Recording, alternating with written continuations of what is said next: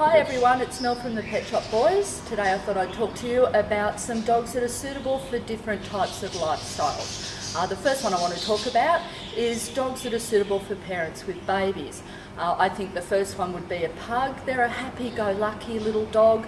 Um, fairly low maintenance, so you'll have more time to spend with the babies that we all know take a lot of maintenance, and they're very easy to maintain. So they do shed a little coat, so you will have to factor that in, but they are a happy little dog and easy to get along with most animals and, uh, you know, non-aggressive.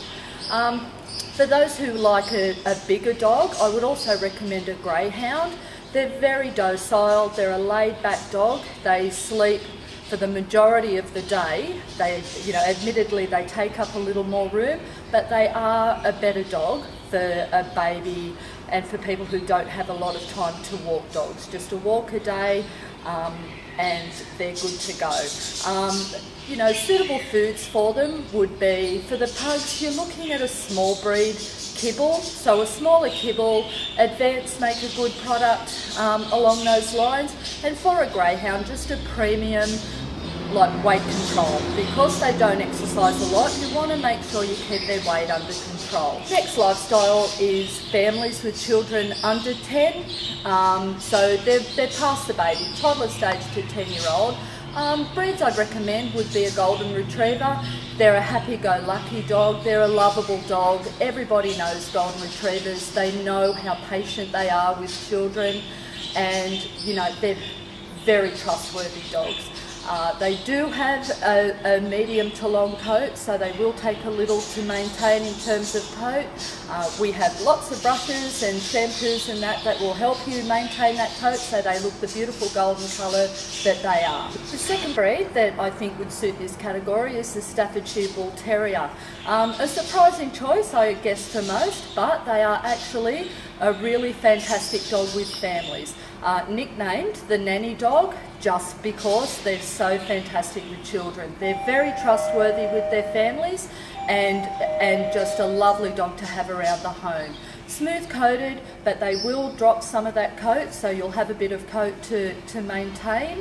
Um, a good food for them would be a, a food like Canidae, uh, which is like low, a grain-free product, which is low in allergens. So some, some Staffies can have a bit of a problem with their skin. Canidae will go a long way to help ensure that that doesn't happen. Next lifestyle category we're looking at is um, young, active people. Um, the very best breed for a very active person, I believe personally, is a Border Collie. Maybe that's because it's my breed of choice, um, but they are a very active dog. They need a lot of stimulation, they need a lot of exercise, they need lots of training. So if you have plenty of time and you are super, super active and you want to make a dog a part of your life, then a Border Collie is absolutely for you. Um, they are a medium to long coated breed, so they need at least a weekly brush and a shampoo with a good shampoo, and they also need an active diet, so a food that's um, geared towards an active breed. Advance make a, an active formula um, and Black Hawk also make an active formula.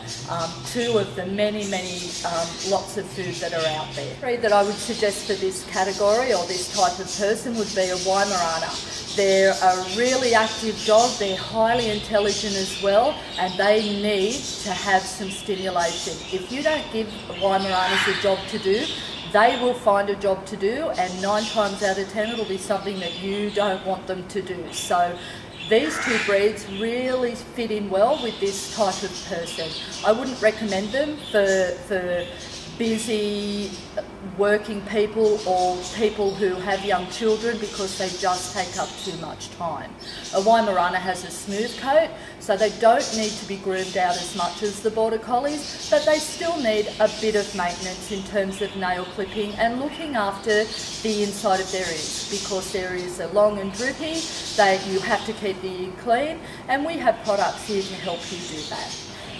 The next category we're going to talk about are breeds that are suitable for the elderly in our community. Ruben's my little co-host here and he's a Cavalier King Charles Spaniel.